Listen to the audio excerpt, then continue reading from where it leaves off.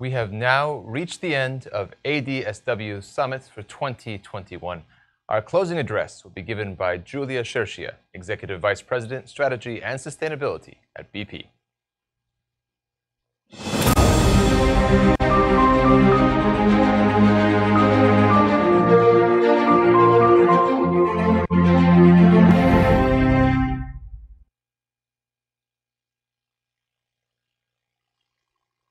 Morning, good afternoon, good evening, everyone. Thank you so much for inviting me to join today. It is a privilege to be here.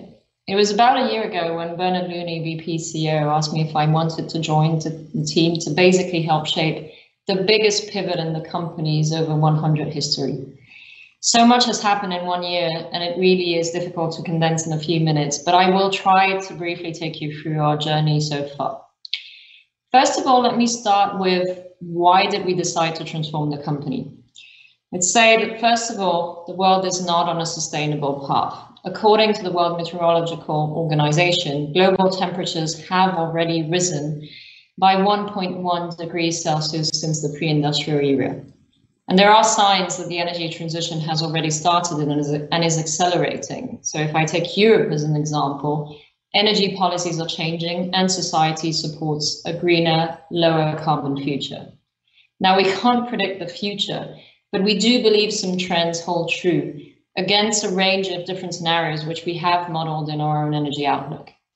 First of all, the world is going to electrify at pace, and as it does so, energy will become more regional, sources of energy more varied, from renewable energy to gas to hydrogen, and the landscape more complex.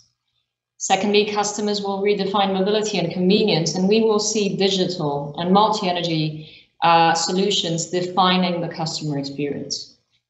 Thirdly, hydrocarbons will play a long-term role, but they will be challenged. So oil and gas will need to become more resilient and embrace decarbonization via CCUS or blue hydrogen, for example. Against this backdrop, there is a huge opportunity to grow long-term shareholder value as the energy landscape transforms. In our 2020 energy outlook, our rapid scenario, which is our well below two degrees scenario, predicts that above 40% of the energy mix will transition out of fossil fuels by 2050. At the same time, electricity demand will double by 2050 with renewables a clear winner. There will be around 900 million EV passenger cars by 2040. 114 cities, 121 countries, and over 1,500 companies have also committed to net zero. And this number just keeps growing. So trillions of dollars will be required to rewire the energy system.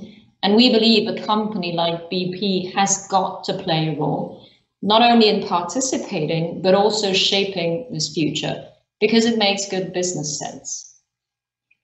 How is this received in terms of a transformation from our stakeholders? On February 12, 2020, Bernard announced a new purpose for BP, which is reimagining energy for people and our planet, with an overarching ambition, which is to get to net zero by 2050 or sooner and help the world get to net zero. And we followed up in August and September with the launch of a new strategy that will pivot BP from an international oil company to an integrated energy company. In September, we also announced a new sustainability frame, embracing three core areas of focus net zero, but also improve people's lives, including more clean energy for more people, respecting human rights, promoting equity and well-being, and care for our planet, including biodiversity, natural-based solutions, and responsible users of resources and circularity. And we will share more detail on our sustainability frame in the next sustainability report. The reaction from our stakeholders has been over, overall extremely positive. We had great feedback from civil society and NGOs. Our shareholders have praised the direction we have set, and inside BP, you can feel the energy and the enthusiasm.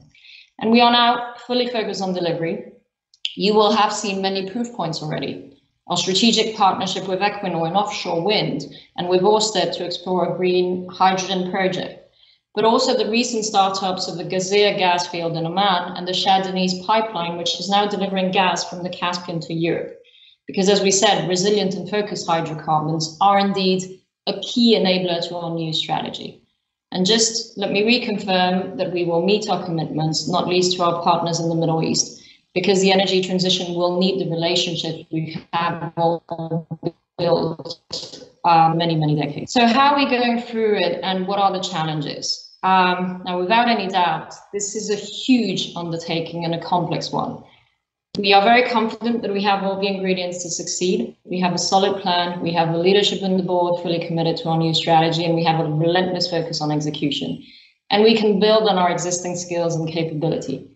But we recognize that companies like ours, in hard to abate sectors, and that transition to low carbon energies are in uncharted waters. And this is probably our greatest challenge, which is we need everyone's support because we can't do it alone we can't transform if governments, society, and investors don't believe in what we're doing and don't back us. We have a scale and the expertise that are necessary to enable rapid and substantial reduction in emissions. And it really is in everyone's interest to welcome the contribution of every company that, like us, genuinely wants to play a role in the energy transition. So, for the energy transition to be successful, we need companies such as ours to successfully transition. And this is as much about supporting green companies as it is about supporting greening companies. So let me just close by saying that we are committed to helping build a green future. It is not only the right thing to do for the planet, but it is the right thing to do for our business. It reaffirms our position as an employer of choice, and it makes us an attractive partner, supplier, and investor. Thank you very much.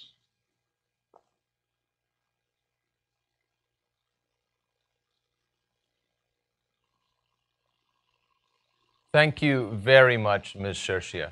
Well, that now concludes the ADSW Summit for 2021. Uh, this may be the end of ADSW Summit, uh, but of course it is not the end of the Abu Dhabi Sustainability Week. We look forward to seeing you at our other events. We have a packed program planned. The Atlantic Council Global Energy Forum continues now. Tomorrow, with the Abu Dhabi Sustainable Finance Forum, we begin at 11 a.m. Gulf Standard Time. Also tomorrow is the joint meeting of the UN Food Systems Summit and the UN High Level Energy Dialogue and the World Future Energy Summit webinars. The Atlantic Council Global Energy Forum and the Youth for Sustainability Virtual Forum continue. Finally, once again, we must take the opportunity to thank all of our speakers today for sharing their time and their insights, as well as thank each and every one of you, our global audience, for tuning in. Goodbye from the ADSW Summit 2021. Wassalamu alaikum wa rahmatullahi wa barakatuh.